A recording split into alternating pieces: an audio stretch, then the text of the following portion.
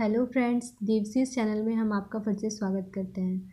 आज हम वमन कारक द्रव धमागों के बारे में पढ़ेंगे। इसके पहले वाले वीडियो में हम लोगों ने जीमूतक जो कि एक वमन कारक द्रव्य होता है, उसके बारे में हम लोगों ने पढ़ा था। हमने भी उसके पर्याय के बारे में पढ़ा था, उसकी मात्रा और उसका प्रयोग और उसके जितने योग होते हैं, उसका, उसके उनतालीस योगों के बारे में हम लोगों ने पढ़ा था। अब हम धमागों के पढ़ने, अब हम धमागों के बारे में पढ़ने जा रहे हैं। धमारों सबसे पहले हम पढ़ेंगे धमारों के पर्याय के बारे में। धमारों का जो पर्याय होता है, उसको याद रख, उसको याद रख सकते हैं हम लोग। महाराज को करकोटकी का प्रणाम। मतलब महाराज, धमारों के पर्याय को याद करने का ये ट्रिक है, महाराज को करकोटकी का प्रणाम।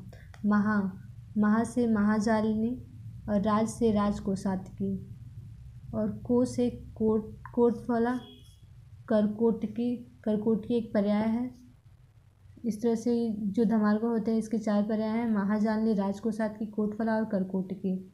इसको हम इजली याद रख सकते हैं। अब हम धर्मार्गों के कौन कौन से पार्ट को यूज़ करते हैं वमन कराने के लिए, हम ये देखने जा रहे हैं। धर्मार्गों के प्रयुक्त भाग। मतलब वमन कराने के लिए हम धमार्गों के कौन कौन से पार्ट का यूज़ करते हैं। धमार्गों का हम लोग फल का प्रयोग कर सकते हैं वमन कराने के लिए, पुष्प का प्रयोग कर सकते हैं और पत्ती का प्रयोग कर सकते हैं।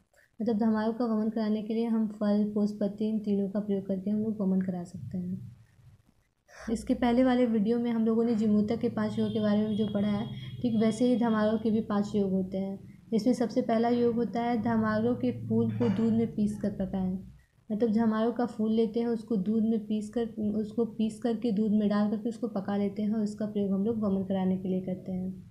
फिर दूसरा योग है धामार्गों के फल को दूध में पकाकर उसकी पेय बन, पेय का, बनाकर उसका प्रयोग करें। मतलब धामार्गों के फल को हम लोग दूध में पका लेते हैं, फिर उसकी जो पेय होती है, उसका प्रयोग हम लोग वमन कराने के लिए करते हैं। तीसरा तीसरा रोम युक्त फल को दूध में पकाकर दूध की मलाई का प्रयोग करें।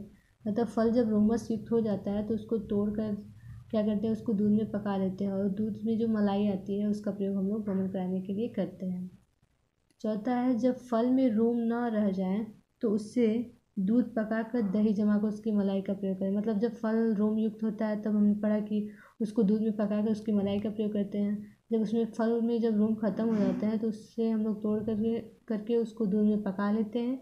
फिर दही जमा कर उसकी मल, दही की मलाई का प्रयोग हम लोग वमन कराने के लिए करते हैं। सब पाँचवा है, पाँचवा जो सबसे लास्ट है इसमें हम क्या करते हैं? सूरा मुंड में धमार्गों के फल को कूट कर शाम काल भिगो भिगो दें।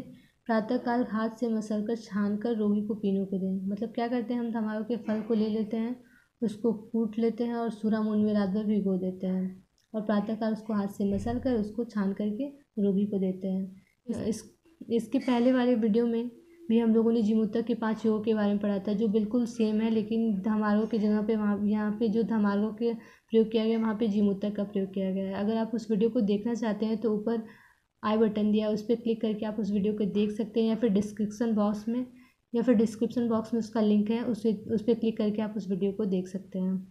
अब हम धमार्गों के प्रयोग के बारे में पढ़ेंगे। अब हम धमार्गों के प्रयोग के बारे में पढ़ने जा रहे हैं कि धमार्गों का प्रयोग करके हम लोग किन किन विकारों में धमार्गों का प्रयोग करके वमन कराते हैं। धमार्गों का प्रयोग हम लोग कास में करा सकते हैं, उदर रोग में करा सकते हैं, गुल्म रोग में, विष विकार में, कंठ और कंठ और मुख में कफ की दुष्टि हो जाए तो भी हम लोग, कंठ और मुख में कफ की दुष्टि हो जाए तो भी हम लोग धमार्गों का प्रयोग करके वमन करा सकते हैं। गुल्म और उदर रोग। गुल्म और उदर रोग में हम लोग धामार्गों के कल्प का प्रयोग करके वमन कराते हैं। उसके बाद हम लोग वमन और हृदय रोग में देखते हैं कि हम लोग कैसे वमन कराते हैं। वमन और हृदय रोग में धमार्गों के कल्प को अन्न में मिला करके देते हैं। मतलब धमारों के धमारों का धमारों के फल को अन्न में मिला करके देते हैं। धमारों के जो फल है उसको अन्न में मिला देते हैं और वमन और हृदय रोग में उसका वमन कराने के लिए देते हैं। विश्व विकार में भी हम लोग धमालों का धमा विश्व विकार में भी हम लोग धमालों का प्रयोग करके वमन करा सकते हैं। विश्व विकार में हम लोग क्या करते हैं? धमाल को कल्प लेते हैं, उसमें धनिया और तेजबल तेजबल का क्वाथ लेते हैं।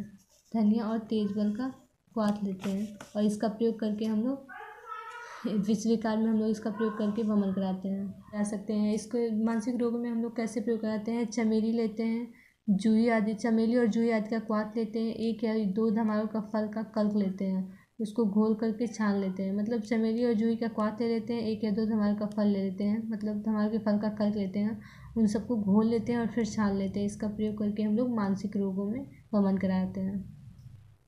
इसके पहले हम लोगों ने धमार्गों का प्रयोग करके वमन कराने धमार्गों का प्रयोग करके किसमें किसमें हम वमन कराते हैं, ये पढ़ लिया। अब हम लोग धमार्गो चूर्ण युक्त गंध पुष्प का प्रयोग वमन कराने के लिए कैसे करते हैं, इसकी विधि के बारे में पढ़ेंगे।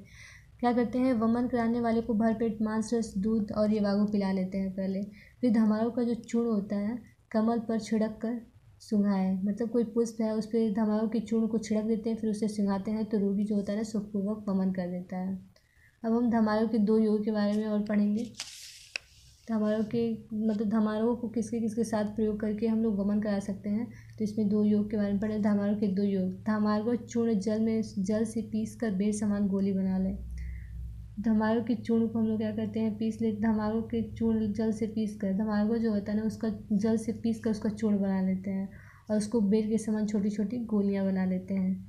गोली को गोबर के रस घोड़ी की लीद का रस अंजलि प्रमाण लेकर के मतलब गो, गोली को जो गोली बनाते हैं धमारों के चूर्ण का जल से पीस करके उसको हम लोग क्या करते हैं गोबर के रस में या फिर घोड़े की लीद के रस में अंजलि प्रमाण ले लेते हैं और फिर उसको घोल करके रोगियों को पिलाते हैं। तो वो ईजिली वमन कर देता है।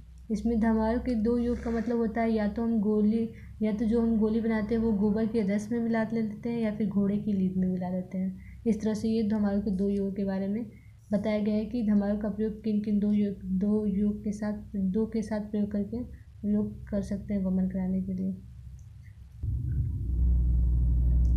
धामार्गों के दस योग। इसमें हम क्या करते हैं? धामार्गो चूर्ण को धमार को चूड़ लेते हैं, पर पशु के बिट के रस मिलाकर पिलाया मतलब धमारों के चूड़ को इसमें धमारों के दस योग का मतलब इसमें बताया गया है कि धमारों का प्रयोग हम किसके किसके साथ कर सकते हैं, ऐसे दस बिटों के बारे में बताया गया है। क्या करते हैं हम लोग? धमारों का चूड़ लेते हैं, फिर उसमें पशु, जैसे कि चाहे चितकबरा हिरण हो, नीला हिरण हो, कुढ़ांग हो, गज हो, ऊँट हो, खच्चर हो, भेड़ हो स्वदष्टा हो, गधा हो या गंडा हो, इनमें से किसी के भी पशु, किसी के भी विट को, विट में धमारों का चूर्ण मिला करके हम लोग वमन करा सकते हैं। इसीलिए ये बोला गया है धमारों के दस योग क्योंकि इन दसों में से किसी भी, किसी पशु के भी विट के साथ धमारों के चूर्ण का प्रयोग करके हम लोग वमन करा सकते हैं। मतलब धमार्गो औले के दस योग के बारे में बताया गया, इसका प्रयोग करते हैं हम लोग हृदय और कास्ट रोग में धमार्गो औले का प्रयोग करते हैं वमन कराने के लिए। इसमें क्या करते हैं धमारों का चूर्ण लेते हैं चीनी, मधु और फिर जीवक, ऋषवक क्षीर काकुली केवां सतावर, काकुली, गोरख, मुंडी मेदा महामेदा या मुलेठी चूर्ण इनमें से किसी भी एक मात्र एक के साथ सम मात्रा में धमारों के एक एक के साथ दें। मतलब धमारों का चूर्ण और चीनी, मधु लेते हैं और इन दसों में से किसी एक को सम मात्रा में ले करके मिला करके इससे वमन कराते हैं। इसका प्रयोग होता है ना, हम लोग हृदय और कास्ट रोग में करते हैं वमन कराने के लिए। अब हम लोगों ने धार्मार्गों के योगों के बारे में, उसके प्रयोग के बारे में पढ़ लिया। अब हम धार्मार्गों के जो योग, साठ योग होते हैं, उसके बारे में पढ़ेंगे।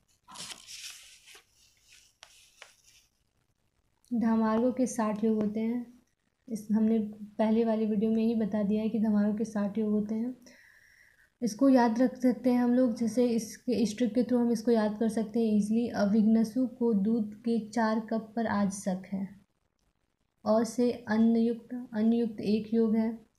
और घ से इसमें घृत है, घृत से एक योग है। न न, इस इसमें अविघ्नसु में जो न है, उसके न से नस्य का भी एक योग है। सु से सुरा और आसो के दो योग हैं। दूध, इसमें दिया है जो दूध दूध के चार योग हैं। दूध के चार, दूध के चार से दूध के चार योग होते हैं। क से कसाय से बीस योग, प प से पत्तियों से नौ योग और आ अ से अवले अवले से दस योग स से सकृत रस इसके दो योग होते हैं और क से कल के दस योग होते हैं। इस तरह से हम लोग ईजिली अविघ्नसु को दूध के चार कप पर आसक है। इसके द्वारा हम लोग धमार्गों के जो साठ योग होते हैं, उनको आसानी से याद रख सकते हैं। यहाँ पे हम लोगों ने धमार्गों के पर्याय के बारे में, उसके प्रयोग के बारे में और उसके योगों के बारे में पढ़ लिया है।